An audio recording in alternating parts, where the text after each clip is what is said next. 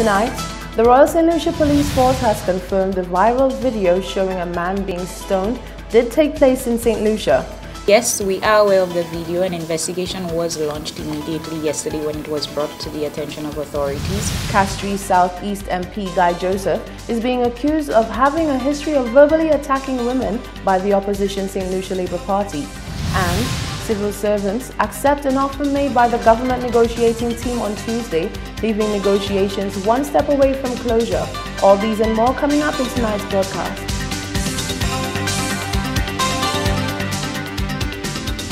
This is the Hot 7 Nightly News with Lovelace and Amy Joseph. Good evening. It is Tuesday, the 18th of June, 2019. Welcome to the Hot 7 Nightly News. We're on Flow Channel 117, also being simulcast on Kiss FM 105.5 and 105.9 radio. You can also watch us on our free mobile app. Just search for Caribbean Hot FM in the Play Store. I'm Rochelle Gonzalez, standing in for lovely Saint Amy Joseph.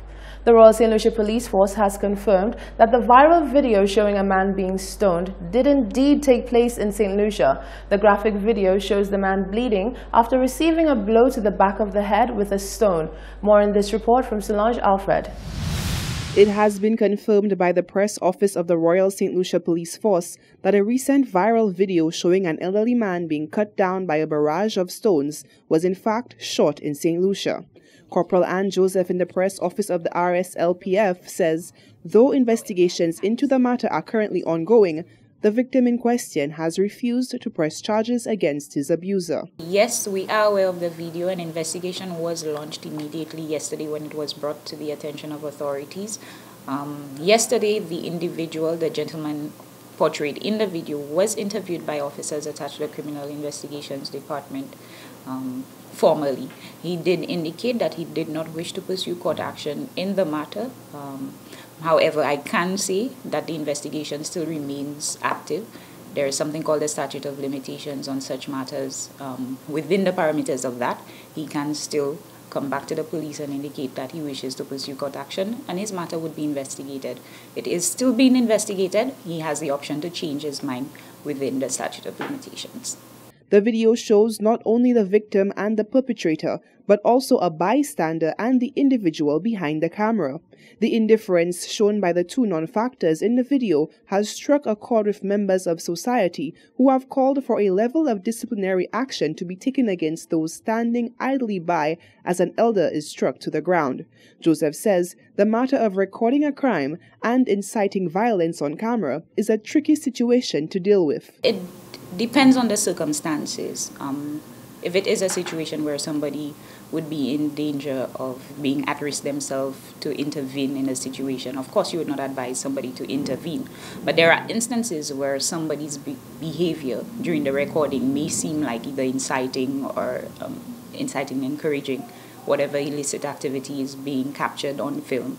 And obviously you don't encourage that. The person can be charged um, criminally as being either an accomplice or inciting. Um, so there are legal ramifications to recording or your behavior during recording. With the statute of limitations still open to the victim, legal action can still be brought up against the perpetrator. Reporting for Hot 7 News, I am Solange Alfred. An overwhelming vote was cast by civil servants at the June 14, 2019 meeting to accept an offer made by the government negotiating team. In a previously broadcasted interview, with General Secretary of the St. Lucia Civil Service Association, Claude Paul, he said if resolve did not come about swiftly, the end result will not be favorable to the country as a whole. The accepted offer by the civil servants include a lump sum payment of $1,800 plus 2% for the period of 2016 to 2019, with 4% being offered for the period of 2019 to 2022. What remains now to complete the process is to convey the acceptance to the TUF executive, who will then present the response to the GNT. This will bring a close to the negotiations between the GNT and the CSA. Castries Southeast MP Guy Joseph is being accused of having a history of verbally attacking women by the opposition St. Lucia Labour Party. SLP MPs say the recent attack on journalist Janica Simon was the latest in Joseph's string of attacks. They say intimidation is his MO and that even female members of the government are too scared to speak up against him. The opposition St. Lucia Labour Party has highlighted what they called a recurrent and well documented pattern of behavior from a member of the government which demonstrates a lack of respect for women. During a Tuesday morning press conference, Castries Southeast MP Guy Joseph was called out for his abrasive behavior towards women in politics and in the media. His most recent bout was seen and heard in an exchange with journalist Janica Simon. You're complaining that people are attacking I your have wife. no intentions of answering any questions you ask me. If you want to be a politician, be a politician, and then we will deal with it from a political pers- perspective. If I'm trying to understand this response you just gave to my colleague concerning political, could you give me a guide? And I, I, I fail to understand where you're coming from. I've said what I have to say. No, you you ask me, you ask me a question. Well, I don't consider the person a reporter. Have I refused to answer your questions? Have I refused? That's disrespectful. You decide for me what is disrespectful. The reporter, sir, that's disrespectful, so Don't you think so? You go ahead and form whatever conclusion that you want about this. Opposition leader Philip J. Pierre named a few who have fallen in Joseph's line of fire. You must look at guys to the history. He attacked Sarah Flood. He said she must take the land. He attacked Minister Rambali. He attacked Janine Compton. You must look at his history. You must look at his history. He attacked Emma Hippolyte. You must look at his history. Then he attacked Janica Simon. Senator Gibeon Ferdinand said this is a clear pattern. He said Joseph has a history of using intimidation to silence those who oppose him. The reason that it is, is very difficult for some of those, especially women in, in, in this government and women who, who are part of the, of, of the organization to speak out is because of, of their own intimidation and that's exactly what the opposition leader mentioned. If they're not comfortable with, with speaking out, it's because it not necessarily means that they, they do not have an opinion, but they're not comfortable. There may be repercussions that they're afraid to, to face.